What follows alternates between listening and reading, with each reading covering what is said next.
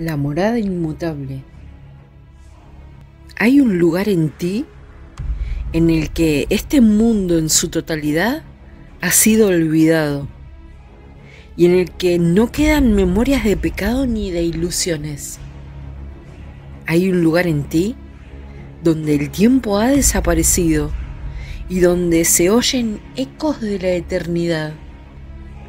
Hay un lugar de descanso donde el silencio es tan absoluto que no se oye ningún sonido, excepto un himno que se eleva hasta el cielo para brindar júbilo a Dios el Padre y el Hijo. Allí donde ambos moran, allí ambos son recordados.